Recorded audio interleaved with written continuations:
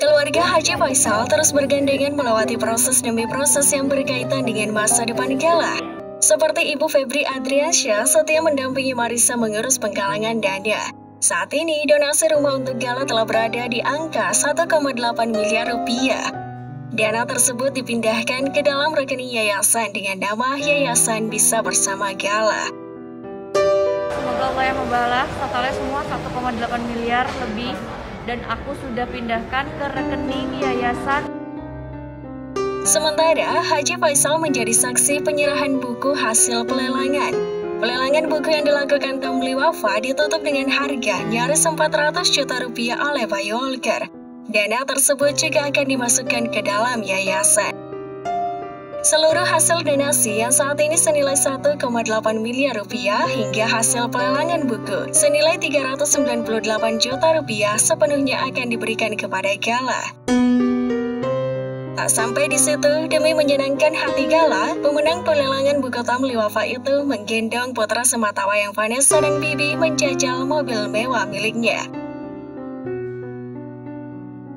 Dan rupanya perhatian tak hanya tertuju pada Gala, Fuji yang merawat Gala juga menuai banyak simpati. Pasalnya, untuk tidur pun Gala membutuhkan hangatnya pelukan Fuji. Tak heran jika Fuji mengaku hanya tidur 3 jam sehari. Pengorbanan Fuji tanpa mengenal waktu dan lelah itu bahkan membuat berat badan Fuji turun drastis hingga 5 kg.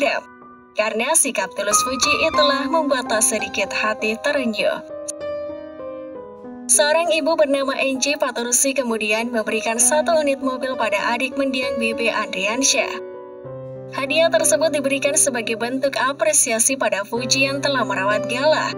Selain bisa digunakan untuk menunjang kegiatan Puji pribadi, mobil tersebut juga bisa digunakan untuk mengantar Gala. Puji pun tak menyangka begitu banyaknya perhatian yang ia terima bersama Gala.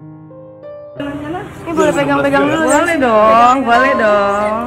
Sayang. Perhatian tersebut dianggap memang layak diberikan pada Fuji dan keluarga. Pasalnya, selama Vanessa mengalami kesulitan, keluarga Bibi Andriansyala yang setia menemani. Selama masa kehamilan Vanessa, adik-adik Bibi pantang menyerah membantu kakak iparnya mengais rezeki.